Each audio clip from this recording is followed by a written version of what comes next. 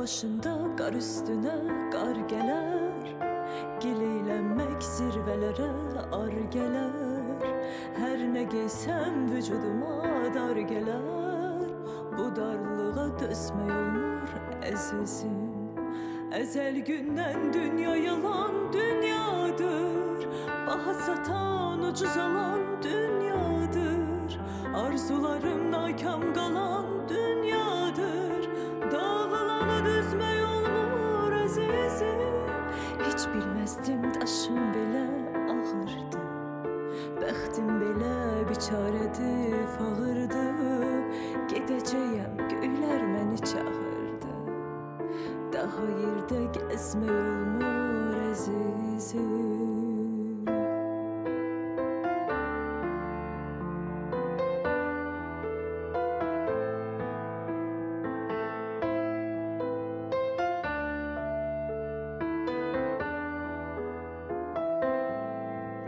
Keşke dünya salımlığın ataydı. Qəlbim bir an istəyinə çataydı. Yaşamağım gözyaşıdır haraydı. Göz yaşına dözmək olmur əzizim Dalğalara yalvarmaqdan bezmişəm Hönkürməkdən, ağlamaqdan bezmişəm Səndən ayrı yaşamaqdan bezmişəm El obadan bezmək olmur əzizim Heç bilməzdim daşım belə ağırdı Bəxtim belə biçarədir, fağırdı Gedəcəyəm, göylər məni çağırdı. Daha yerdə gəzmək olmur əzizim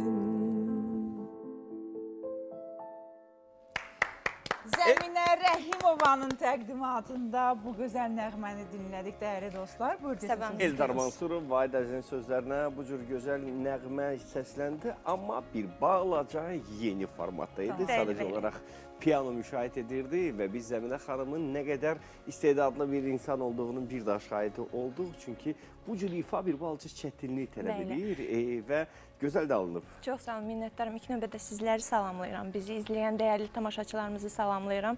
Günləri xoş, sevgi dolu keçsin inşallah Nə ki. gözəl. Var olasınız. Çox sağ olun. Xoş gəldiniz sağ olun. xanım. Xoş gördük Xədicə.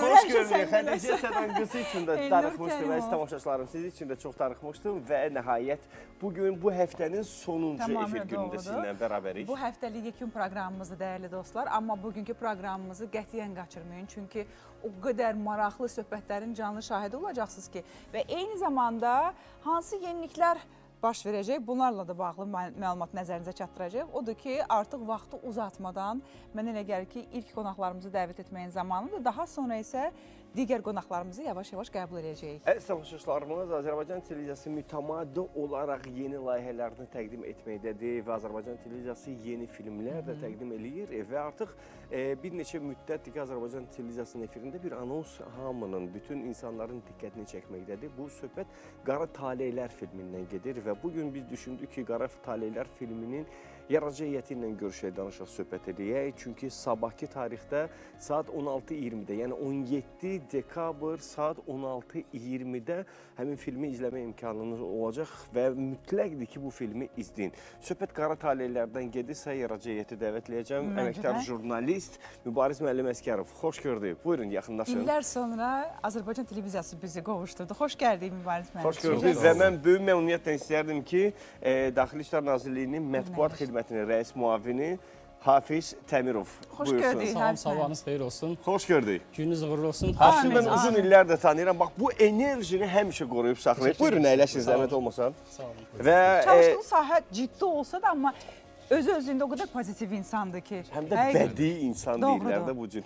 Ruhu, ədəbiyyata, e, bütün ədəbiyyata bağlı. çox diqqət yetirən bir insan. Hər kəsi salamlayırıq, xoş gördük. Salam, sağ olun. Çox önəmli bir məsələ ətrafında bu gün danışacağıq. Əslində qalsa biz e, Elnurla bugünkü verilişi müzakirə eləyəndə bu günlərdə Bu mövzu ilə bağlı yetərincə məlumat yoxdur. Deyəcəksiniz hansı mövzudan gedir? Söhbət əlbəttə ki, Qara Taleylər sənədli filmdən gedir, amma hansı filmdir, nədən bəhs eləyir? Bəlkə onun açıqlamasını edək?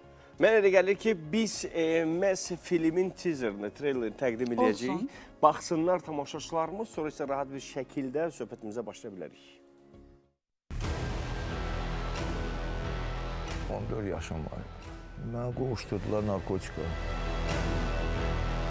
Ya, normal adam 7 dəfə düşməz axı həbsxanaya. İnsan özü özünə elədiyini ona heç kim eləməz. Yeniyetmə yaşlarına kimi xoşbəxt həyat sürən Ceyhun gənclik vaxtından üzü bu yana taleyin ən qara günlərini yaşayır. Ona bu gündən dünənə boylanmağa şərait yaratdı. Dede, Hacı, bu nedendir? bu nədir? Çıxmır. Yok. Tıp, pım, pım, pım, pım,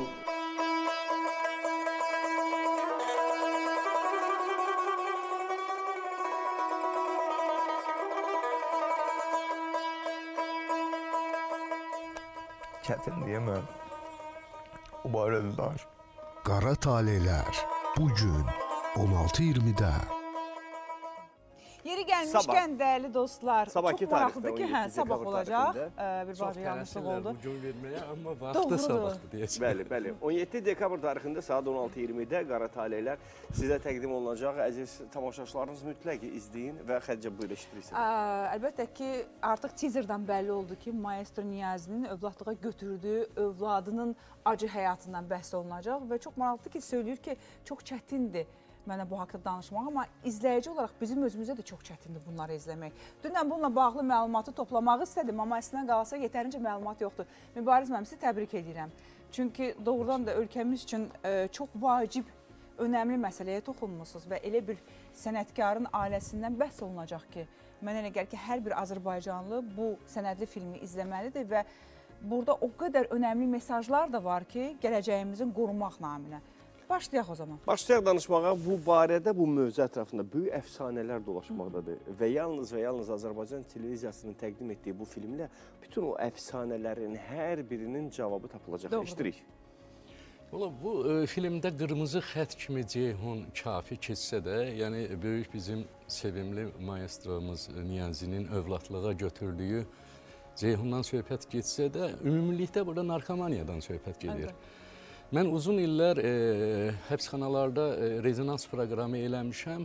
Oradakı qara taleylərin içərisində mənə ən çox təsir edən bu e, narkomaniyanın qurbanları olub.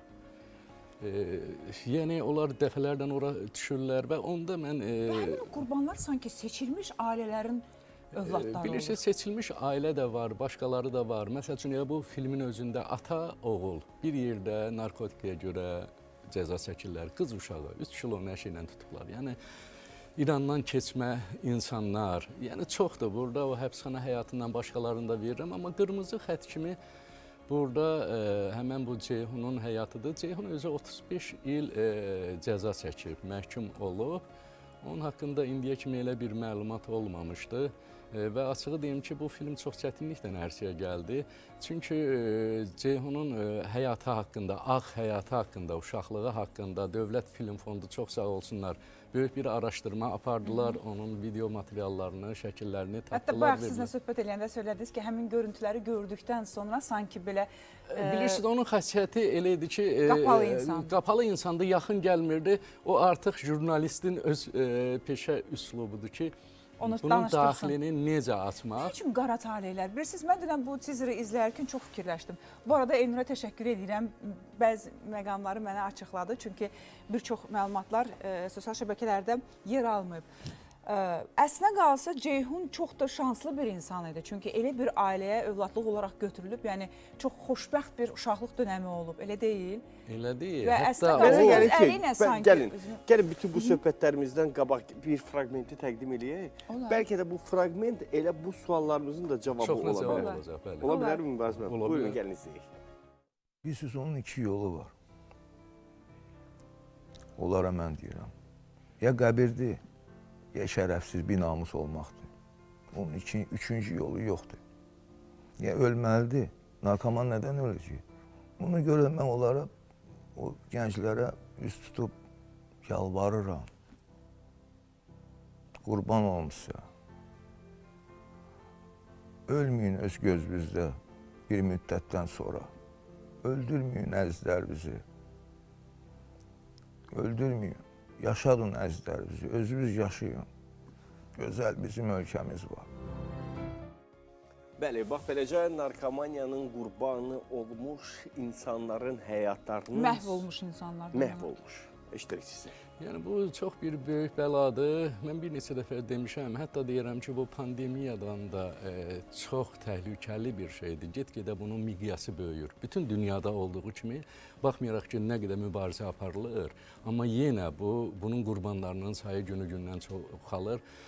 Burada bəzi məqamlar var, bizi istəməyən dövlətlər çox e, ucuz qiymətə onu yönəldirlər. Bu bura sərhəd xidməti, gömrük nə qədər bu mübarizə mövzulara aparsa tamaşaçılar da baxandan sonra qənaəti gələ bilərlər. Amma mən bilirəm ki, sizin e, məhz bu filmi ərsəyə gətirməyinizə Daxili İşlər Nazirliyinin də Çox böyük köməyi olub. Mən bayaq dedim ki, e, Ceyhun biraz qapalı adamdır, heç kimi yaxın buraxmırdı. Hətta e, həbs olunduğunu e, boynuna almırdı.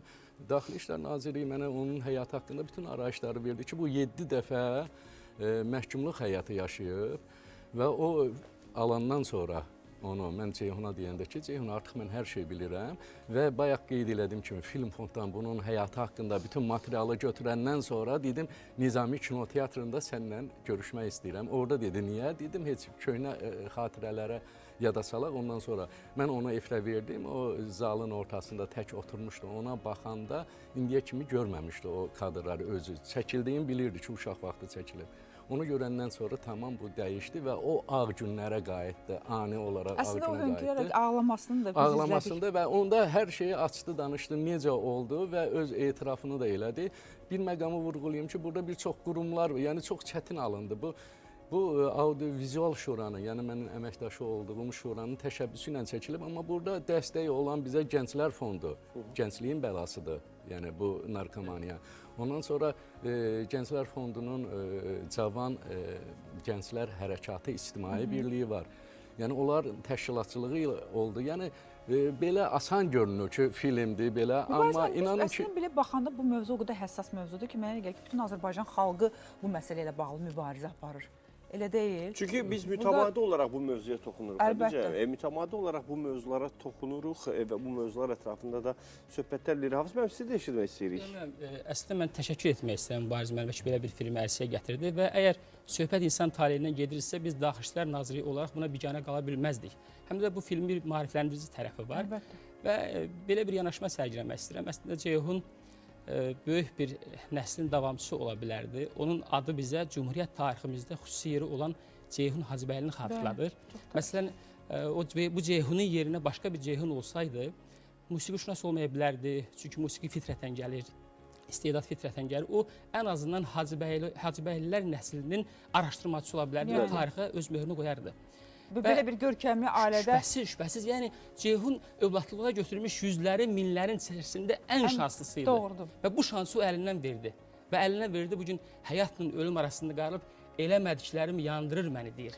Vaxtında Aslında ola etsəydi. bilərmi? Bax bu kimi Buyurun. ailələrdə e, indi şan şöhrətli ailələrdə olan övladlar, heç bir problemlə üzləşməyən olan övladlar sanki o qədər sevgi ilə, qayğı ilə bəsləniblər ki, nəticə itibarilə bax öz əlləri ilə öz həyatlarını məhv edirlər.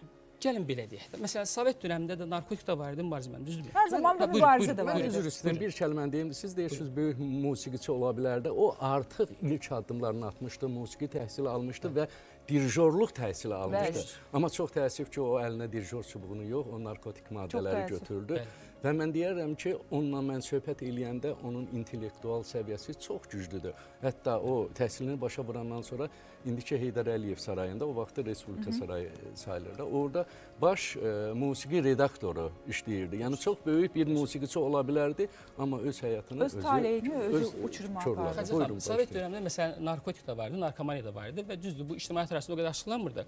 Lakin sonra dövr, zaman dəyişəndən sonra artıq bu, bu bəlanın necə təhlükəli olmağı bütün ictimaiyyətə yansıdı.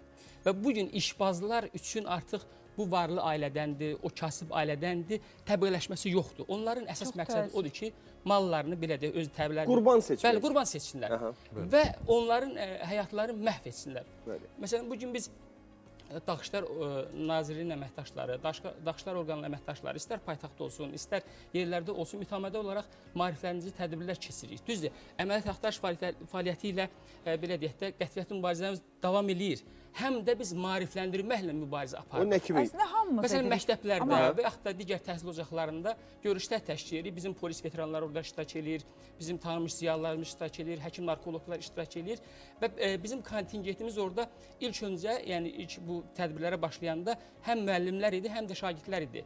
Lakin sonradan artıq e, hədəfimizi dəyişdik. Valideynlər də ora cəlb etməyə başladı. Çünki hər bir valideyn e, narkotiklə bağlı müəyyən şeylərdən məlumatlı Daha ayıq olmalıdır, Ki, məlumatlı o- olmalıdır, əlbəttə. Qızına, övladına nəzarət Və edə bu bilsin. mübarizə sırf ə, təhsil ocaqlarından Şübhəsiz başlanmalıdır. elədir. Mütləq Şübhəsiz şərtdir. elədir, Bəli. Çünki artıq bilirsiniz elə bir zamanda yaşayırıq ki, heç bir e, məlumatı gizli saxlamaq mümkün deyil. Artıq açıq, aşkar görsənir ki, günü-gündən bizim gənclərimiz bundan əziyyət Xədicə çəkir. xanım, çox üzr istəyirəm sizdən. Biz Buyurun. narkotiklərə ağ ölüm deyirik də və adətən tədbirlərdə iştirak edəndə mən e, üzümü şagirdlərə və ya müəllimlərə tutub deyirəm ki, görün biz hansı bir dövrə zamana gəlmişik ki, bu gün ağ rənglə ağ ölümü eyniləşdiririk. Ağ rəng deyəndə gözümüzün önünə sülh gəlir, Bəli. ağ günlər gəlir, ağ göyərçinlər gəlir, amma təəssüflər olsun ki, təəssüf. biz ölümlə rə- rəmzi ilə ağ rəngi onlar eyniləşdirmişik. sadəcə olaraq öz taleləri ilə deyil, ailələri ilə bərabər Şübhəsiz. ətrafda olan onları sevənləri də uçuruma aparırlar. Yəni narkotik bu gün ailəvi qırğın silahına e, çevrilibdir və hər birimizin qapısının kənarındadır bu bəla. Sadəcə olaraq bu bəlanı özümüzdən itələmək üçün, bu bəlanı özümüzdən kənarlaşdırmaq üçün ilk növbədə tam səmimiyyətimlə deyirəm maariflənməliyik və ən azından Azərbaycan polisinə, digər hüquq mühafizə orqanlarına dəstək olmalıyıq. Hər hansı bir neqativ hadisə görəndə bizim əlimizin altında 3 yerli düymə var. 102. Zəng etməliyik, məlumat verməliyik. Çünki məlumat verməklə hər hansı bir bəlanın qarşısını almış oluruq və anonimlik qorunmaq şərti ilə. Yəni ki, əziz tamaşaçılarınız, ümumiyyətlə bu mövzunun hardan qaynaqlandığını birdən soruşarsınız. Ola bilsin ki, yenicə qoşulmusunuz, bizim verilişimizi izləyirsiniz. Söhbət sabahki tarixdə, yəni 17 dekabr saat 16:20-də Qara Taleylər sənədi filmindən gedir ki, hansı ki, məhz Real faktlar əsasında Real faktlar çəkilmiş. əsasında quruluşçu rejissoru da bizim çox dəyərli əməkdar jurnalistimiz Mübariz müəllimdir, təqdim edir və bu dəfə isə tam fərqli bir həyatdan danışılır.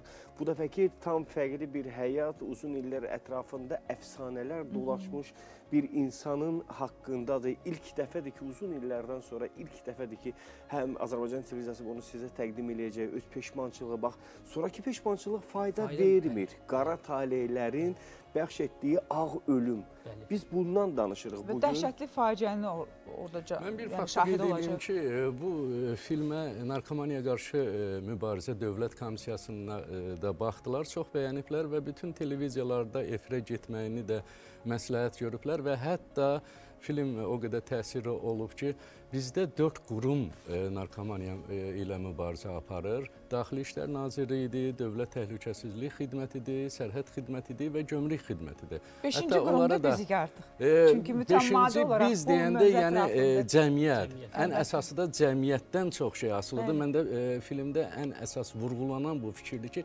bütün cəmiyyət buna müba e, bundan mübarizə aparmalıdır. İndi elə taley gətirdi e, ilk dəfə ASTV-də gedir. ASTV mənim üçün çox doğma bir Kanaldır. Telejurnalist kimi ilk addımlarımı bu kanalda atmışam. ASTV-yə, rəhbəriyə də, əməkdaşlara sizə də təşəkkür eləyirəm. Tək ona baxanların bir neçə insan geri çəkilsə, bu qara taleyə özünə həyat yolu seçməsə, bu böyük bir e, necə deyim, Uğurdur, Uğur qalibiyyətdir. Deməli bax bu e, tarix, bu mövzu, bu hekayənin yaranmış olan əfsanəsində iki məqam mənim diqqətimi cəlb edirdi. Uzun illərdir ki, mən bu mövzu ilə e, Xədicə ilə yaradıcı heyətlə Doğrudur. bölüşmüşdüm fikirlərimi ki, bir e, brilliant qaşlı üzük və bir də maestro Niyaziyə bağışlanmış olan qızıldan Qızıl e, dirijor çubuğu. mən o sualı verdim. İstəməzdim ki, onun cavabını burada verək. Yəni amma cavabı tam e, tamaşaçılar Yox, mən a- a- filmdə də yoxdur. Niyə görə yoxdur? Mən fakt olmayan şeyi vermirəm. Mən ona sual verdim. O dedi ki, e, mən belə bir şey e, eləməmişəm. Yəni o çox şeyi boynuna almırdı. 7 dəfə həbs olunmağını. Mən yenə deyirəm, çox sağ olsunlar Daxili İşlər Nazirliyinin rəhbərliyinə mən Ola təşəkkür boynuna Arayışı aldı? götürdüm, dedim fakt. Jurnalist gərək faktla danışsın da. Mən artıq onu Dəlillər. onun boynuna qoymaq, yəni nə eləyibsə, onu o özü Etiraf danışırdı. Amma onu dedi ki, o e, kimsə götürüb, kiməsə satıb, e, nəsə eləyib.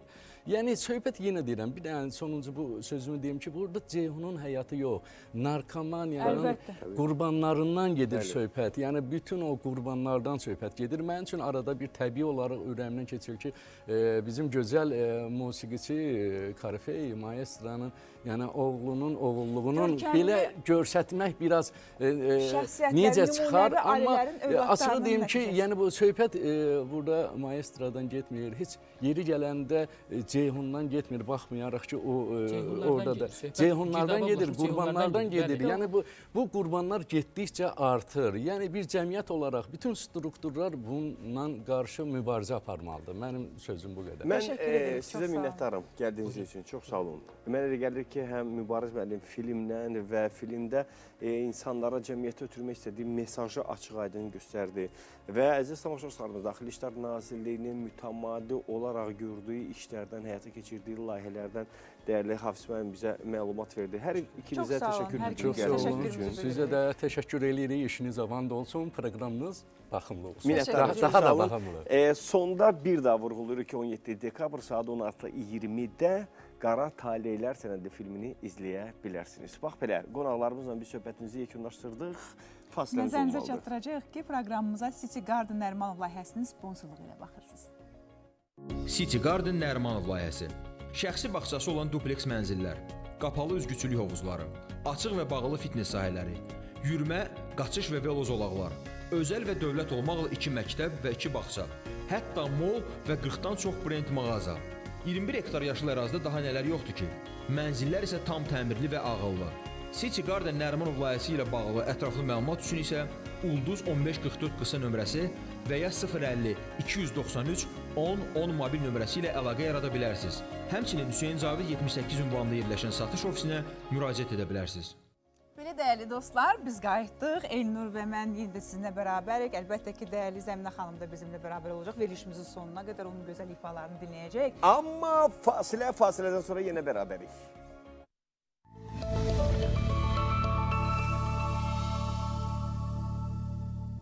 Belə dəyərli dostlar və biz artıq qayıtdıq. Təbii ki, proqramımızı davam etdiririk. Bir neçə dəqiqədən sonra qonaqlarımızı da qarşılayacaq. Amma bu məqamda ə, canlı bağlantımız olacaq Şuşa ilə. Və canlı bağlantı onunla ibarətdir ki, artıq 5-ci gündür ki, Şuşa, Xankəndi, Laçın dəhlizi istiqamətində həyata keçirilən e, bu bir tələb var e, bizim eko qorucularımızdan və bizim əməkdaşımız Ruslan həmin anda, həmin saniyədə hal-hazırda oradadır. Ruslan, e, bu 5 gün ərzində nələr yaşandı, bu günlərdə nələr yaşandı? Mən bildiyimə görə etirazçıların artıq yəni e, fikirləri dəyişdirilib, başqa tələbləri var. Bax bunlarla bağlı istərdim fikirlərini öyrənim. Salam Elnur, salam Xədicə. Sizi Şuşada, Xankəndi, Laçın yolunda artıq ki, hansı ki 5 gündür ki, fasiləsiz olaraq ardı-arası kəsilməyən ekoloji aksiyanın keçirildiyi məkandan bir daha salamlayırıq. Tələblər dediniz, tələblər xeyr dəyişməyib. Dinç aksiyadır, heç bir siyasi mahiyyət kəsb etmir. Burada ancaq ekoloji şüarlar səsləndirilir və iştirakçıların tək bir tələbi var və o da hansı ki indi e, müvəqqəti nəzarəti həyata keçirən Rus sülh məramlarının yerləşdiyi torpaqlarımızda olan təbii sərvətlərimizə e, e, mütəxəssislərlə mütəxəssislərimizlə birgə monitorinq işlərini həyata keçirməkdir və burada maraqlı fikirlər səsləndirilir və müraciətlər olunur ki, Xankəndidə yaşayan ermənilərə də müraciət olunur, mesajlar ötürülür və e, ötən günlərdə elə biz e, erməni sosial medialarında da belə bir məlumatlarla tanış olduq ki, güya buradakı aksiya iştirakçıları yolu bağlayıblar, amma müşahidələrimiz onu ə, deməyə əsas verdi və artıq tamaşaçılarımız da yəqin ki, o görüntüləri izləyiblər. Ə, dünən axşam saatlarında ə, Rus sülh məramlarına məxsus humanitar maşınlar buradan keçdi və bunun üçün də aksiya iştirakçıları çox mədəni şəkildə maşınların buradan keçməsinə şərait yaratdı. Yəni və daha sonra Rus sülh məramlıları həmin yolu yenidən bağladılar. Və nəyə görə yolu bağlamalıdırlar? Və buradakı insanların əgər bir istəyi varsa, öz təbii sərvətlərimizdən monitorinq işlərini həyata keçirməkdirsə və Xankəndi istiqamətinə hərəkət etmək istəyirlərsə, niyə yolu bağlasınlar? Və eyni zamanda Laçın istiqamətinə hərəkət etmək istəyiriksə, burada niyə yolu bağlamalıyıq? Və hər iki tərəfdən Rus sülh məramları yolu bağlayıb və onların tələbləri yerinə yetirilməyənə qədər biz buradayıq deyir aksiya iştirakçıları. Çünki biz bir daha vurula, vurulamaq istəyirəm ki, həmin təbii sərvətlər bax bu yolla talanırdı, bu yolla aparılırdı və burada Rusiya şirkətlərinin və eyni zamanda fransız şirkətlərinin adı hallanır. İranlı e, işçilər həmin e, sərvət e, e, sərvətlərimizin istismar olunduğu, talandığı yerdə çalışırlar. Bax bu e, bütün bu tələblər, bütün e, bu ekologiyamıza qarşı törədilən e, terror, təxribat səbəbindən iştirakçılar burdadılar. Elə bu fikirləri mən istəyərdim ki, onların öz dilindən eşidək. Buyurun özünüzü təqdim edin. Artıq 5 gündür ki, burada bir tələblə çıxış edirsiniz. Tələbiniz nədən ibarətdir?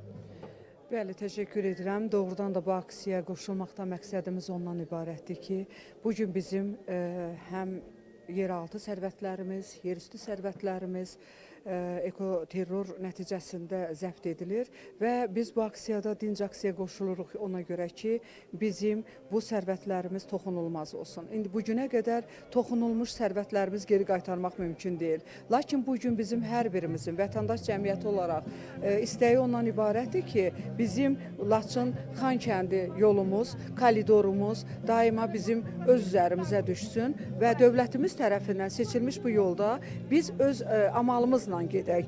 Yəni bu yol humanitar məqsədlərə xidmət edən bir yoldur, amma bu yoldan sırf humanitar məqsədlə istifadə olunmur e, və təbii ki, e, buradan terror məqsədi ilə istifadə olunur. Ekoloji terror ən ağır, ən təhlükəli bir terrordur. Bu günləri dünyada nəinki regionlarda, bütün dünyada ekoterror böyük bir adla səslənir. Bunun özü ən dəhşətli bir terrordur. Bəs Mən... buna görə də elə aksiya iştirakçıları beynəlxalq ekoloqlara da müraciət ünvanlayıblar ki, səsimizə səs verin, elə buradan da səslənə bilərsiniz beynəlxalq ekoloqlara. Bu günləri hər kəsə biz buradan səslənirik ki, hər kəs bura gəlsin. Məhz buradan biz öz səsimizi bütün dünyaya çatdıraq. Çünki biz bu e, ekoterrorun qarşısını almasaq, kənardan baxanda asan görünə bilər. Təşəkkür edirəm. Məhz hamımız aksiyaya, ekoterrora son deyək. Bəli, biz burada müxtəlif şüarlar da Xədicə Nur vaxtımız varsa bir maraqlı məqam da var. İstəyirəm onu da tamaşaçıların diqqətinə çatdırım. Burada maraqlı şüarlar səsləndirir ki, bu sərvətlər Azərbaycan Bəli, qısaca eləyəcəyik və təbii sərvətlər Azərbaycan ərazisində yaşayan hər kəsindir. Yəni dinindən, millətindən, milliyyətindən asılı olmayaraq və buradakı insanlar Xankəndidə yaşayan ermənilərə bir barış əllərində uzatdılar, bir müraciət mesajı da ünvanladılar. Bu barədə sizin dilinizdən eşidək. Biz buradan əslinə qalanda e, bu aksiyamızın bir məqsədi də budur ki, yəni biz Azərbaycanda yaşayırıq və bütün biz Azərbaycan xalqıyıqsa, hər kəs orada yaşayan, məsələn, Xan kəndində yaşayan ermənilər də Azərbaycan milliyyəti olmalıdır və onlar da özləri bu aksiyaya qoşulmalıdırlar da. Yəni ki, yəni terrora, terrora hə, so, son qoyulmalıdır. Çünki bizim sərvətimiz talanmamalıdır. E, eko e, ekologiyamıza ziyan olmamalıdır. Yəni onlar da e, buna bizə dəstək olmalıdırlar. Əslinə qalanda belə olmalıdır. Təşəkkür edirik. Enur Xəcə, bax gördüyünüz kimi buradakı insanlar bir barış əli uzadıblar və deyirlər ki, bu Azərbaycan hər birimizin vətənidir. Milliyyətindən asılı olmayaraq və bu məmləkəti terrordan birlikdə azad etməliyik və birlikdə terrorçuları, silahlı qrupları və e, bu ölkənin e, belə deyək də, e, sərvətinə, təbiətinə zərər vuran insanlardan vətənimizi bircə xilas etməliyik. Bizdə bu qədər əlavə suallarınız varsa, buyurun, müsahiblərimiz də buradadır, sizi cavablandıra bilərik. Təşəkkür edirik, o qədər ətraflı məlumat çatdırdınız ki, ə, əlavə suallara ehtiyac olmadı. Təşəkkür edirik və bilin ki, biz də sizi hər gün, gün və gün, saat və saat izləyirik və bu aksiyaya Düşünün ki, biz də qoşulmuşuq və təbii sərvətlərimizi talan etməyə icazə verməyəcəyik. Son dəqiqəyə qədər, son ana qədər bu mübarizəni davam etdirəcəyik. Əziz tamaşaçılar, niyə əlavə suallar vermədi? Çünki səhər saatlarından etibarən artıq bilirsiniz ki, mütəmadi olaraq Azərbaycan televiziyasında xəbərlərin e, xüsusi buraxılışı, yeni buraxılışlarında və verilişlər arasında bu cür canlı bağlantılar Hı -hı. olduğundan biz hər bir dəqiqə nələr baş verdiyinin şahidi oluruq e, və Azərbaycan televiziyası da ən son xəbərləri, məlumatları hər birini diqqətinizə çatdıracaq. İndi isə geri qayıdırıq gün başladı verilişinə, çünki dəvət etdiyimiz qonaqlar və mövzular var. Odur ki, keçid alırıq Xədicə Sənan qızı. Təşəkkür edirəm Elnur. Zəminə siz də diqqətlə bizi dinləyin. Ümumiyyətlə, Elnuru bilirəm ki, şirniyyatı çox sevir. Bəs siz necə? Mən də çox sevirəm. Uşaq vaxtı daha çox sevirdim. İndi Aha. biraz azaltmışam. Bəzi problemlər yaradır. Sevirsiniz? Çox sevirəm. Elnur, sən necə? Artıq bu axtan hər şey bəllidir. Və sevindirici bir haldır ki, ölkəmizdə artıq bilirsiniz ki, istedadlı xanımlarımızın sayı günü-gündən çoxalır.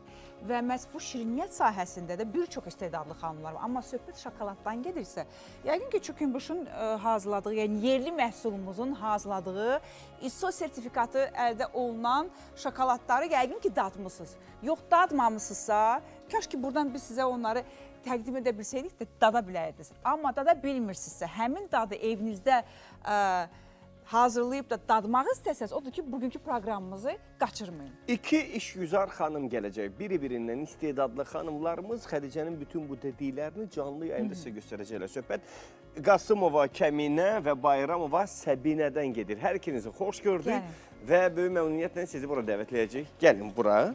Xoş gördük, Xoş əziz gördük. xanımlar. Yorulmayasınız deyirəm. Çox sağ olun. Afərin sizə deyirəm, çünki həqiqətən də ev deyəcəm evdə ev şəraitində. Amma əslində qalsa bax bugünkü proqramımızı diqqətlə izləsəz, bütün qeydiyyatlarınızı yazsaz, Mütləq, daha mütləq. sonra özünüz evdə mətbəxdə bu şokoladı övladlarınız üçün, sevdikləriniz üçün, ailə üzvləriniz üçün hazırlaya bilərsiniz. Biz bugün hə, nə buyur, edəcəyik? buyur. Bugün nə İki- edəcəyik? İki növ şokolad Üç növ şokolad Üç hazır, növ. bəli, bəli, üç növ şokolad Biri hazırlayacağıq. südlü olacaq, biri ə, Qara acı, şokoladdan. qara şokolad. Bir də 4 çərəzin e, birləşməsindən olan bir konfet növü olacaq. Biz yalnız və yalnız prosesin gedişatından danışacağıq. Odur ki, sizi Aha. mətbəxə dəvət etmək istəyirik. Şokoladı hazırlamaq üçün bizə əsas vacib olan ərzaqlar lazım olacaq. Bəli, Bunlar hansılardır qızlar? Bizə ən əsası şokolad lazımdır. Aha. Bir də biz e, indi reseptura əsasında Yəni hazır şokolad. Gedib tutaq ki, kilona şokolad almalıyıq. Aha, ə, üçün. mütləq mütləq, yəni orqanik palma yağı tərkibli şokolad olmayan, yəni şokoladı Heç bir seçək. konservantsız, qatqısız, təbii şokoladdan hazırlayacağıq, baxacaqsınız. Əla, nə gözəl. Ekoloji, təbii və e, təmiz məhsul Məhsul, hazırlayırıq. Şokolad ağzımız şirin olsun, ağzımız dada gəlsin. Bunun üçün bizə əlbəttə ki, nələr lazım olacaq? Bəli, bizə ən əsası e, şokoladı əritməyimiz üçün, çünki o müəyyən dərəcədə əriyir, 45 dərəcə, 45. Qazan lazım bəli, olacaq, Bəli, aha. qazan və su lazımdır ki, su vannası deyək də. O buxarda, Buxarda, aha, bəli, bəli. sağ- Buxarda onu biz əridirik. Bax bu və- məqamı xüsusilə vurğulamaq istəyirəm ki, şokoladı əritmək istəyərkən daha çox bu variantla Bəli, eləməlisiniz. mütləq. Ki e, yanmasın, yanında yansa yüzə yəni onu istifadə etmək Əsas onun əriməsini gözləyir, Bəli, bəli, deyilmi? əriməsidir. Daha sonra əriməsidir. Müəyyən temperatura Temperatur gəlməlidir. ən əsası dərəcə. Ərə, əriyəndən Sonra sonra biz necə təyin edirik qızlar E, verəcəm? onu necə təyin eləyirik? E, məsəl üçün mən e, ustalar ən çox dərəcə Hə, ölçənlə istifadə Hmm. edir. Yəni evdar xanımlar məsləhətim budur ki, e, yəni dərəcə ölçən alsınlar bütün e, şirniyyat e, mağazalarında. Belə Yəni daha rahat şəkildə Hə, əldə edə bilərlər. şəkildə Ay, istifadə burada sizin edir. fantaziyalarınızı da işə sala bilərsiniz. İndi dediniz, yadıma düşdü.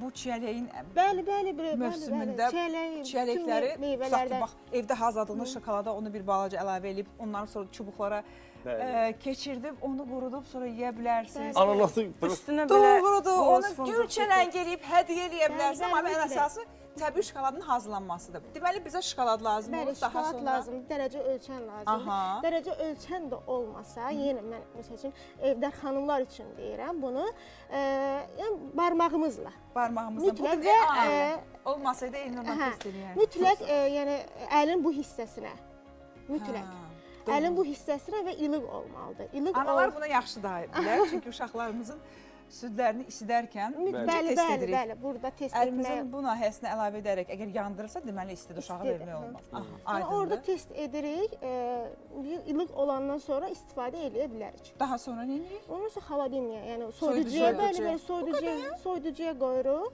İçinə heç nə əlavə etmirik. Yox, əlavə indi yenə deyirəm, reseptura əsasında. Yəni resepturamızda indi mən deyəcəm reseptura əsasında xanımlar iş görəcək. E, Neçə dəqiqəyə hazır olacaq. Am, 15 dəqiqə. Əla. Siz yavaş-yavaş işinizə başlayın. Biz Tamam. mütəmadi olaraq sizə diqqətimizi Tamam. yönləndirəcəyik. Prosesin necə getdiyini şahidi olacaq, amma bir də indi Gülnar xanım Quliyeva gələcək. Bu Gülnar xanım Quliyeva məşqçidir. O ilə bərabər verdiyi məsləhətlərlə bərabər həm də məşq etmiş olacaq. Odur ki, böyük məmnuniyyətlə sizi dəvət edirik. Xoş gördük. Dərhal xoş gəldiniz, xoş gördük. Salam, hər birinizi xoş Məşqçi gələn kimi həmən başlayırıq ağrıyan nahiyələrimizi yada salmağa. Görəsən boynumda bir ağrı var idi, kürəyimdə bir ağrı var idi. Dünən həddindən çox məşq eləmişdim. Əzələlərdə bir ağrı var idi. Bunların qarşısını necə almaq olar deyə. Xoş gördük. Xoş gördük. Hər kəsi salamlayıram. Ağların qabağını bax bu hərəkətlərlə amma- e, Xədicə xanım alır. Görsən Amma görək Gülnar xanım bizə nələr məsləhət verir. Amma ilk öncə başlayım ki, gələn dəfə gəlib sizə sağlam qidalanma eləyəcəm. Sizə sağlam şirniyyatlar hazırlayacağam gələn dəfəsinə. Özünüzdən gətirin bütün ləvazimatları. Hə, hər şey özümdən gətirəcəm. Şəkərlərdən biraz mən utanaraq deyim ki, Siz onları yox. Mən daha sağlam şəkildə hazırlayacağam Aferin. sizə. Belə sağlam şokoladlar da bugün burada hazırlanan oldu ki, diqqətiniz bizdə olsun. Mhm, mhm. Danışa danışa bir gözlə də baxın. Ki, heç bir şey qaçırmayasınız. Bugün qonağımız var sizdən əlavə. Hər dəfə tək gəlirdim. İstədim bu dəfə e, ekran başında olan xanımları biraz hərəkətə gətirək. Ona görə onlarda əsasən bizdə xanımlarda nə olur? Qarın nahiyəsi, yan nahiyələr və həmçinin də günümüzün ə, problemlərindən birincisi nədir? Kürək. Mhm. Hamı deyir ki, belimdə ağrıları var. Bəli. Biraz hiss edirəm ki, əyli, otur, əyri otururam, əyilirəm qabağa doğru. Ona görə biz indi Sevinç xanımı dəvət eləyəcəyik bura. Sevinç xanım xoş gördük. Gəlin. Sevinç Matı da gətirsin, matla bir Gəlin, yerdə. xoş gəldiniz. Və bu gün Sevinç xanım deməli e, qamətdə olan problemli olan xanımlar. Xanımlar üçün, bəli, qarın nahiyələrində Qarın pillər var. Qarını deyə bilmərəm, amma qamətdə məndə də problem var. Hə, siz dayanın orada. Çalışıram, heç cürə.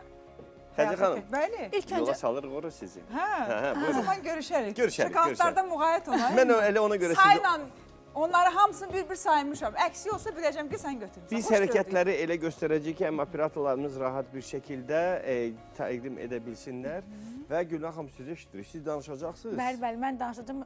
Ə, Deməli onu deyim ki, əvvəlcə kürək nahiyəsindən başlayacağıq. Burada iplərimizi düz saxlayırıq.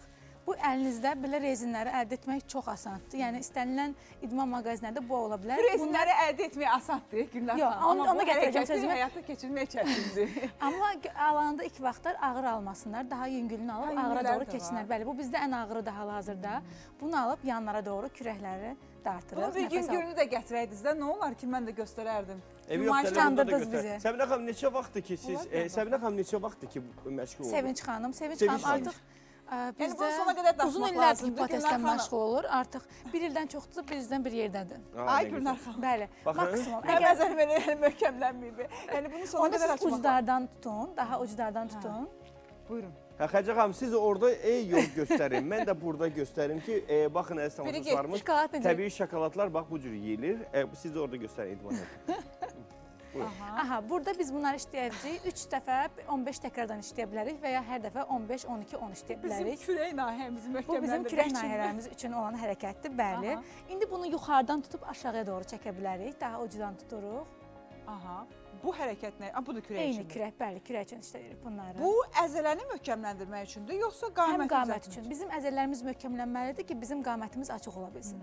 Ona görə biz Hə. bütün kürək hərəkətlərimiz belimizin düz olmasına gətirib çıxardacaq. Aferin. İndi burada tək kürəklə şey eləməyib, qanat olmayıb, keçirik qol hərəkətlərinə. Qolun arxası, Bu arada bunun açıq şəklində olan e, əlimizi belimizə saxlasaq daha da rahat eləyə bilərik. Ha, bir də yumru şəkildə olan rezinlər də var, ayaqlar üçün. Bəli, onları da əl üçün də işlətmək olar, o yumru olanları. Sonra Ayaq xanım, siz üçün də. necə idmanla məşğul olursunuz? Sonra dizlərimizi yerə qoyub, Bunu. Sevinç xanım dizlərimizi yerə qoyaq. Hə, bərabər gedirdik. Bura bərabər Aha. gedirdik. Daha sonra isə işlərimlə əlaqədar biraz əksildi. Eybi yox. İndi burada da yenə kürəyə. Biz sizdə o həvəsi yenidən yaradacağıq. Çox maraqlıdır ki, o günlər ki, burada biz idmandan danışırıq və o hərəkətləri göstəririk. Hər birimizdə o enerji yaranır. O həvəs yaranır ki, yox, e, mən qayıtmalıyam idmana. Əslində bilirsiniz, o disiplin pozulanda biraz geri dönüş etmək çətin olur. Ona görə xanımlar gərək ara verməsinlər. Məsələn, qısa bir müddətlik iş olur, ara verirlər, sonra qayıtmaq çətin olur. Ona görə ara vermədən, daimi məşğul olanda nə bel ağrısı olur, nə artıq çəkilər olur. Həm də unutmayın ki, sağlam bədəndə sağlam ruh olur. Onu bildik ki, o qədər əzbərdə, yəni gecə saatlarında oyatsan, artıq Yox, hər kəs yəni- o suala cavab verəcək. Sağlam Amma iş ondadır ki, bax, Onun üçün də disiplin lazımdır bizə Doğrudur. və motivasiyadan düşmək olmaz. bax idmana ə, həvəsi olan insanlar var. Və bir də mənim kimi ara sıra gedib məşğul olanlar var. İş ondadır ki, biz məşqçilərlə individual ə, idman hərəkətlərini eləyəndə onlar bizi yükləyirlər də. İndi bunu elə, indi onu elə. Təsəvvür edin, yəni idmanla uzun müddət məşğul olmayanlar sonra bir, bir həftə onun ağrısını çəkir evdə. Bəli, bəli. Fikirləşir ki, yox, e, bu növ mənlik deyil, o çox çətindir, hər yerim ağrıyır. Amma mən ona görə, ömrünün mən sonuna ona qədər görə bütün xanımlara məsləhət verirəm ki, ilk dəfə gəldiniz, getdiniz evdə ağrınız oldu. Deməyin ki, bu idman mənlik deyil. Gələn dəfə gedib yenə olacaqsınız. Amma yəni ara verəndən sonra ağrıdınız, ağrıya ağrıya yenə məşq məşqə getmək lazımdır. Deyirəm bəlkə Elnurla yerimizi dəyişək. Çox sağ olun, minnətdaram. Mənim yerim çox gözəldir, Hə. amma xatırlatmaq istəyirəm ki, Xədicə xanım, bax indi dediyiniz sözlər var ha. Aha. O ki məşqçilərimiz gələcəyi, bilərsən, hansı ki istəyə onların yanına. Hə. Bax onda bu Gözə sözləri tutmayanda mən ara sıra onu indi evdə tətbiq edirəm. Çünki bilirsiniz ki, zədə almışdım qolumdan, amma yavaş-yavaş sağlam həyata qayıdıram. Çünki ağrı artıq aradan qaldırılır. Mən bir şey deyim sizə ki, e, mən də burada e, sözün əsl mənasında o qədər maraqlı bir prosesin getdiyini şahidəm ki, hətta əlcəkləri mənə e, Səbinə xanım təqdim etdi. Məncə ehtiyatlı geyindik. olun qızlar. Çünki verilişin sonuna qədər orada şokolad qalmaya bilər. Qalmaya bilər, bəli. Ona görə də biz və burada- biz qayıdırıq idman hərəkətlərimizə. İndi hal-hazırda kürək Kürəyi işlədik. üçün- İndi biz də ayaq hərəkətlərinə əlavə sala Aha. bilərik. Həmçinin burada hə- həm ayaq, həm kürək də işləyə bilərik. Məsələn, əlimizə götürə bilərik. Burada lançlar, iki ayaq qoyuruq, ayaqlar qabağa doğru gedir, çəkirik özümüzə, iki hərəkəti birləşdiririk. Sağ ayaq qabağa gedir, dizləri Xanım neçə ildir məşğuldur? Xanım uzun müddətdir məşğul olur, amma bizdən bir ildən çoxdur məşğul Hə, olur. yox, maşallah bəllidir ki, idmanla məşğuldur. Adam belə gözəl xanımları görəndə həmən həvəsə Adam gəlir. Əslində qalsa biz artıq bunu bilirik ki, yaşın heç bir məhdudiyyəti yoxdur. İstənilən yaşda, istənilən formanı əldə edə bilərik. Heç bir zaman gec deyil, əziz xanımlar. Odur ki, baxmayın ki, mənim e, 30 yaşım var, 40-ın üzərində. Bax, artıq bizim yaradıcı heyət də, bizim gənc cəngavərlərimiz də sizlə bərabər idman hərəkətləri edirsiniz. Afərin sizə. Bizə qoşulun. Burada tək kürək hərəkətləri işləməsinlər. Həmçinin buna əlavə olaraq bir dəfə qarın əzəlləri işləyə bilərlər, bir dəfə ayaq əzəlləri fərqi yoxdur. Hər ikisini qarşılıqlı işləmək olar. Hə. Nə deyim valla, mənim fikrim dağıldı. Çox narahatam indi hal-hazırda Elnurun səhhəti ilə bağlı. Çünki çox şirniyyat yemək ona olmaz, ziyandır. Və idmanla bağlı danışırıqsa, yeməyə diqqət yetirmək lazımdır. Təbii ki, mən bu nüansa toxunmaq istəyirəm. Deməli, xanımlar, əgər mən məşq elədimsə, istədiyimi yeyim, belə bir vəziyyət yoxdur. Siz məşq elədinizsə, sağlam da qidalanmaq lazımdır ki, etdiyiniz məşqdən ə, nəticə ala bilərsiniz. Ə, Ola bilər ki, həftədə bir dəfə qidanızı poza bilərsiniz, amma bu günlük bir hal almamalıdır.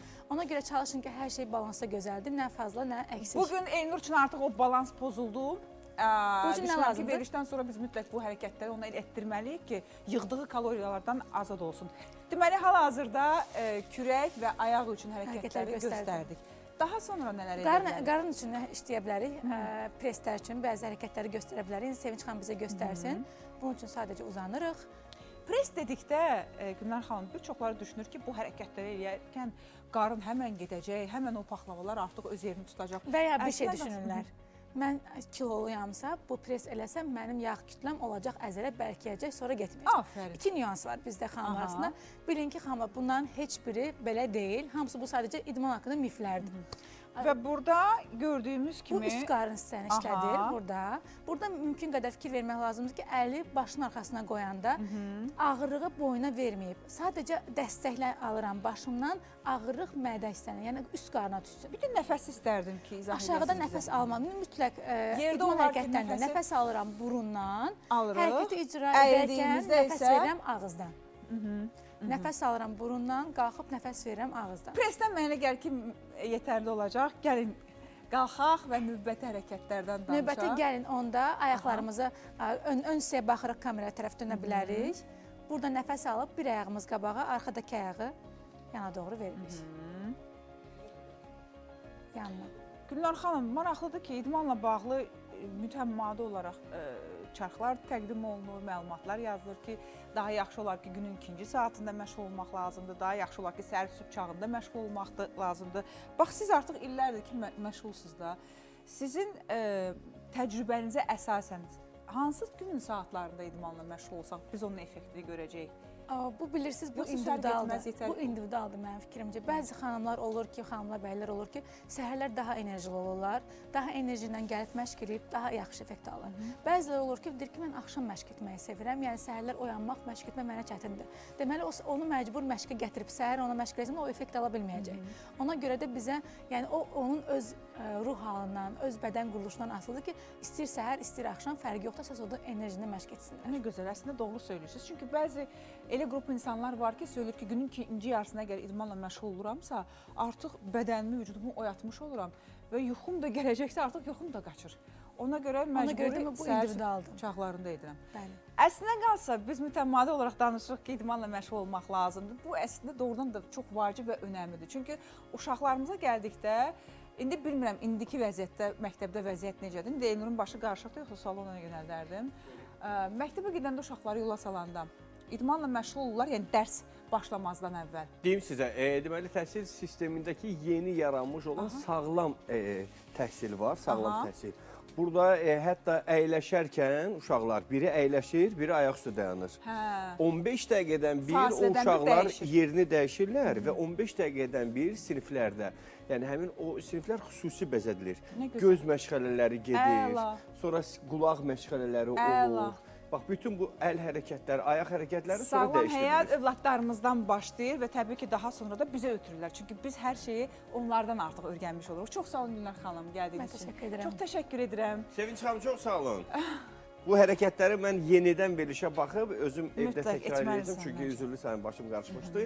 Minnətdarıq sizə, təşəkkürlər. Təşəkkür Çox sağ olun gəldiyiniz üçün, yola bu salırıq sizi. anda, bu anda əlbəttə ki, o görüntüləri həzm etməyim üçün mənim şəxsən özümə indi gözəl bir nəğməni dinləməyə ehtiyacım var. Dəyərli dostlar, düşünürəm ki, siz də dinləsəz, keyfiniz yaxşılaşacaq, ruhunuz qidalanacaq, enerjiniz çoxalacaq. Bəlkə də bu gündən sonra siz də həmin o şokoladları öz mətbəxinizdə hazırlaya bilərsiniz. İstəyirsiniz daha doğrusu hazırlamaq. Mən e, Zəminə xanımdan gözəl bir mahnı rica eləyəcəm. Xədicə xanım, sizi rica eləyərdim yanımıza dəvət edək. Gələsiz yanımıza. Buyurun, eşidək, dinləyək, zövq alaq.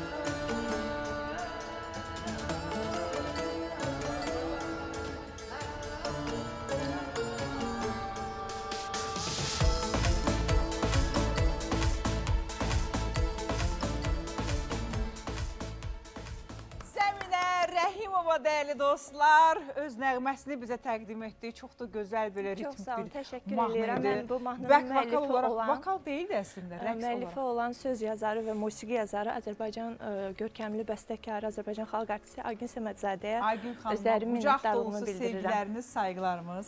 Biz onsuz da Zəminə Hə. xanımı məhz Aygün xanımın təqdimatından tanıdıq, bildik onun gözəl nəğmələrini. Və tamaşaçılarımız hal-hazırda yenə də gözəl nəğmələr, qonaqlarımız olacaq. Amma burada bilirsiniz ki, artıq bizim Kəminə xanımla Səbinə xanım e, gözəllik yaradırlar. Amma bizim bir fasiləmiz var. Fasilədən sonra o şokolad dünyasında nələr baş verirsə, bunu daha yaxından Bütün izləyəcəyik. şokoladları yeyib bitirib enerjisi çox çoxalıb təbii. Fasiləmiz var.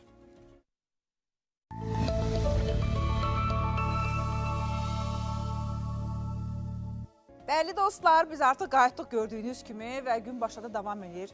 Verilişin əvvəlindən qaçırmısınızsa, nəzərinizə çatdırım ki, bugün dəyərli xanımlar bizə ev şəraitində təmiz, ekoloji təmiz məhsuldan, yəni şokoladdan ibarət şokolad hazırlayacaq. Deyəcəksiniz, necə şokoladdan ibarət şokolad hazırlayacaqsınız? Çünki şokoladı almalıyıq, daha sonra onu ə, deməli, Buxarda. isidici vannada tamamilə doğrudur, buxarda isidirik. Daha sonra müəyyən əlavələri edirik. Və hazır sonra- gətiririk. Amma bir sualım olacaq. Təbii şokoladı biz necə ayıra bilərik?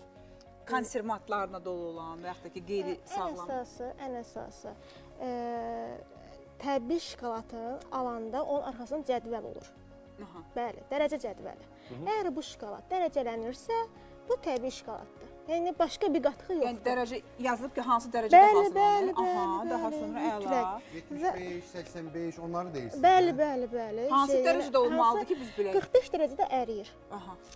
Amma qara şokolad dərəcəsi, işlək dərəcəsi 30 olmalıdır, 29 30.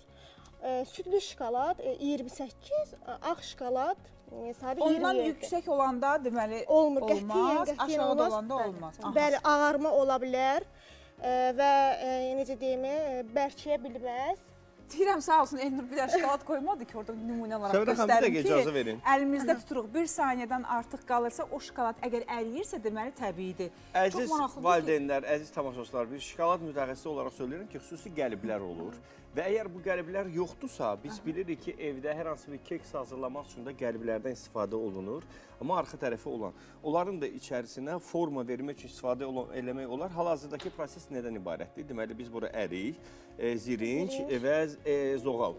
E, gilas. Yəni, Gilas. gi- Gilas qurusu bəli. Hə, gilas qurusunu əlavə eləyirik bu qəliblərin içinə, sonra üzərinə şokoladı əlavə əlavə edirik. Kim nəyi edəcəyik. sevirsə də, Bəli, düzdür? bəli, Evdə zövqə görə dəyişir. Quru meyvələriniz varsa, Evdə elə, yəni qoz fındığı ola bilər. Çərəzləriniz varsa əlavə eləyə bilərsiniz. E, tamaşaçılar bunu bayaqları əlimdə gördülər və bunun açıqlamasını vermək istəyirəm ki, baxın bu cür dənəciklər yaratmaq istəyirsinizsə, bax bu cür dənəciklər.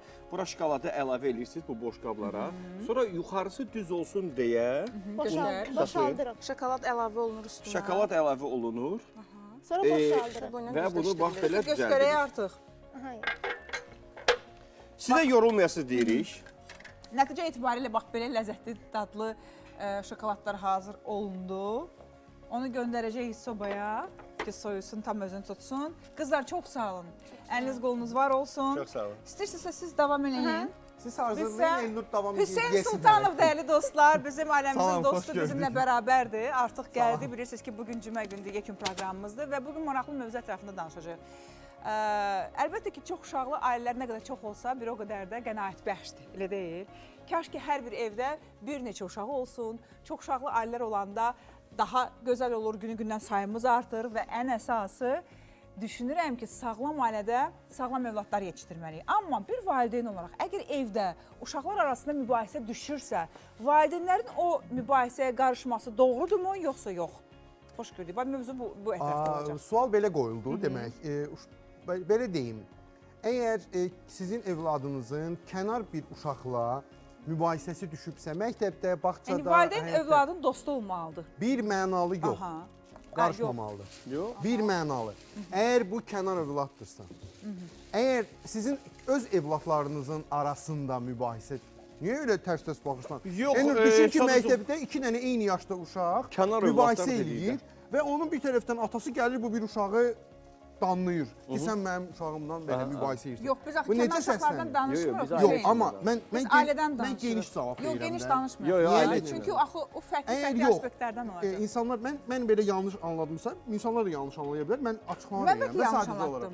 Ailədə əgər övladlar Ailənin arasında içində əgər təbii ki, uşaqlar arasında mübahisə vardırsa, siz e, mümkün qədər diplomatik e, heç bir uşağın tərəfini saxlamadan ədalət əsasında bu məsələyə qarışa bilərsiniz. Bax, məsələ Ədalət budur. Bax, budur məsələ. Salam əleykum. Bax, bu məsələdir. Hə. Söz əsl mənasında mən 5 uşaqlı ailədə böyümüşəm. E, və ən sonuncu olduğumdan evdə təbii ki, mübahisələr düşürdü. Və bu mübahisələrin qarşısını elə almaq lazımdır ki, heç bir uşaqda uşaqlıq travması yaranmasın. Bilirsinizmi, bəzən uşaqlar böyüyür, artıq özləri valideyn olurlar, yaşlanırlar. Amma uşaqlıqda olan o ədalətsizlik var ha ki, valideyn hansısa bir uşağın tərəfi tuturdu. Hələ də onu deyirlər. Hər kəsin ailəsində Mən şəxsən deyirəm. Biz uşaq olanda mamam mənim qardaşımın tərəfini tuturdu. Bəli. Sən həmişə filan kəsin tərəfini tuturdun. Ən böyük əziyyət çəkən son 5 illər olur da. Yəni onların kimsə Bəlkə də ailə də var, əksinə olur da. Yəni son 5 son 5 il olaraq heç bir zaman əzizlənməmişəm. Bəli, hansısa bir uşağa müəyyən bir tərəf tutulur. Bəlkə də valideyn bunu istəmədən edir. Təbii ki, valideynlər bütün evladlarını eyni sevir, amma birinin kiçiyi olur, biri qız uşağı olur, Bir biri də nə əslində bir niyə görə bu mövzuya toxunduq? Daha çox nəyə diqqət etməlidir valideynlər? Münasibətlərdə olsun, uşaqlarla söhbətdə olsun. İstəyir bu mövzunu bir balaca indi biz danışdıq Mən burada. belə öz düşünürəm ki və e, ümumiyyətlə belə düşünürük, ədalətə. Mhm. E, çünki uşaq vaxtı biz o miflərə hələ ki inanırıq. Ədalətdir, sevgidir, qayğıdır. Niyə? yəni ədalət yoxdur. Böyüyəndə çünki bizim şübhəmiz yaranır o məfhumlara. Ona görə o şübhələr yaranmasın deyə uşaq vaxtı məhz bu dünyəvi dəyərlər ki var, ümumbəşər dəyərlər, biz onları uşaqlarımıza necə qeydə bilərik? Özümüz onun nümunəsi olaraq. olaraq bəli. övladlarımızı yetişdirərək, tərbiyə edərək ədalətli olmalıyıq. Övladlar arasında ayrı seçkilik salmamalıyıq. Hər hansısa bir e, münasibətdə e, anlaşılmazlıq olursa müdaxilə edə bilərik. Çox doğru söylədi. Və özümüz də onun e, iştirakçısı olmalıyıq o prosesin. Ədalətli. Əgər misal üçün e, şokoladı e, hazırlanmamış e, yemək olmazsa, masaya gəlməmiş. Demək ki, böyüklər də yeyə bilməz, balacalar da yeyə bilməz. Bəli, əgər burada söhbət Yox, mən zarafatyanı Elnur Biz göstərirəm, böyük amma- məmnuniyyətlə Zəminə xanım sizə mikrofonu təqdim edərək dəvət edəcəyik səhnənin önünə.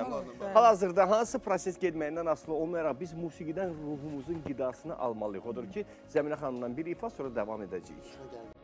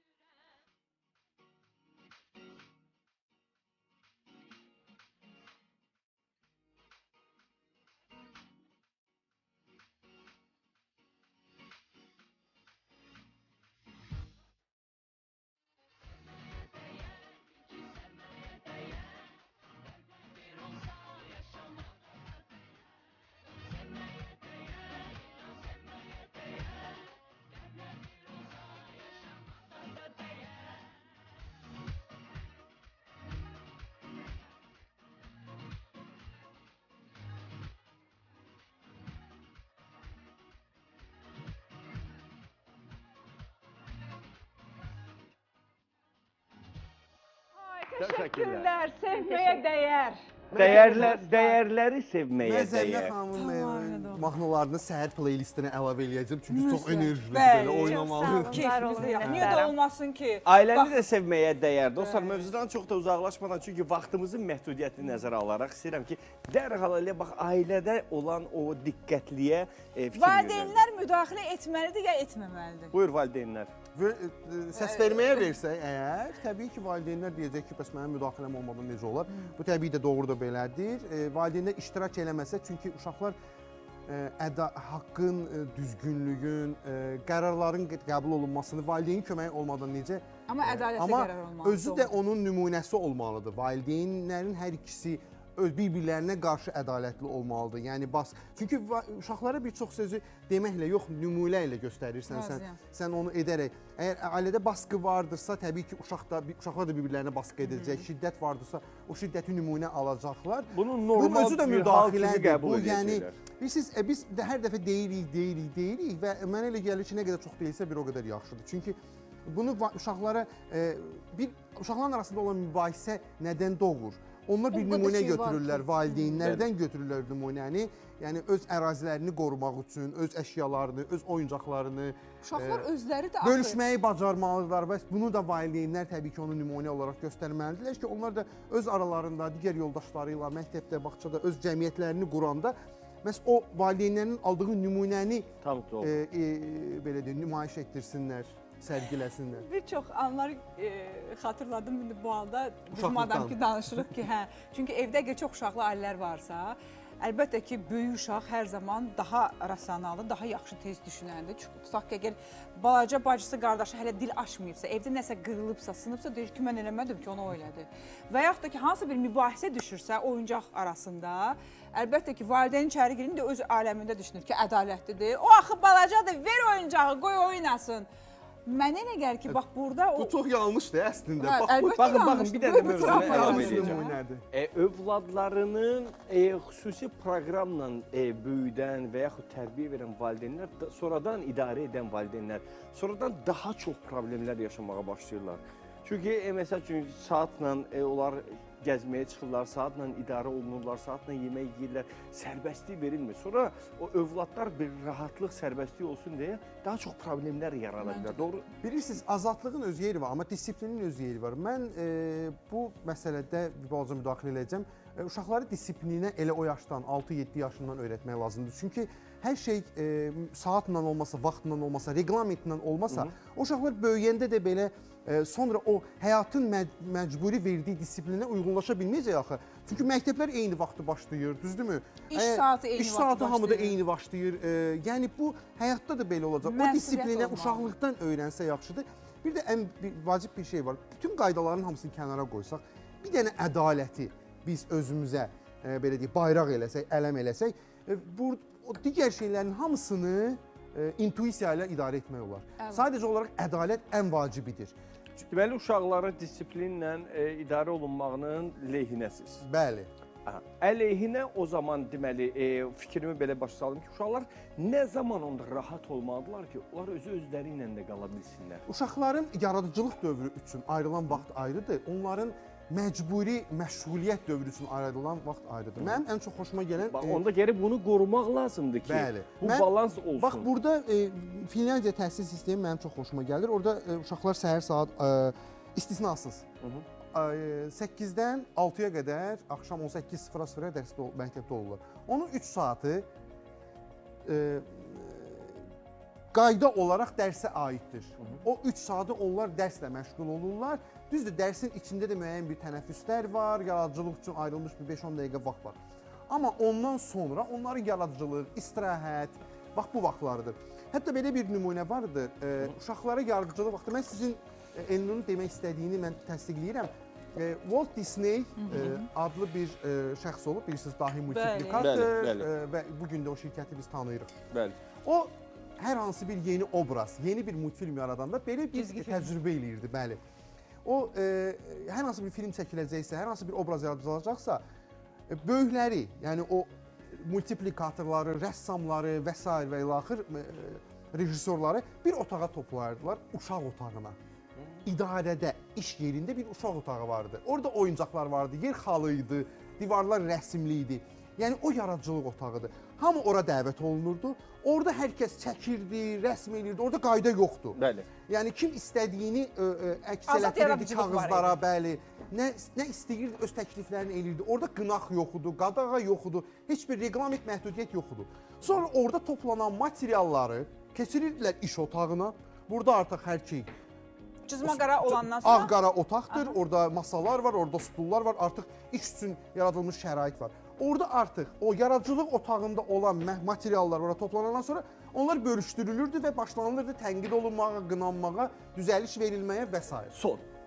Nəticə etibarilə bu mübahisələrə əlbəttə ki, valideynlər qarışmalıdır, amma ədalətli olaraq. Bəli, ədalət prinsipi ən əsas prinsipdir. Məncə də razı. Ailədən başlayır. Nəhayət ki, sözümüz üst-üstə gəldi. Və əziz tamaşaçılarımız biz artıq e, mövzumuzun və verilişimizin sonuna doğru gəlirik bu həftə ərzində və e, buyurun, buyurun Səbinə xanım, sonuncu toxunuşları da şey eləyin və bugün göstərək. söylədikləri kimi məhz burada studiyamızda qısa zaman ərzində bizə üç biri-birindən fərqli şokoladlar hazırlandı. Şokoladların tərkibləri də söylənildi e, və mən Kəminə xanıma xüsusi təşəkkürümü bildirirəm.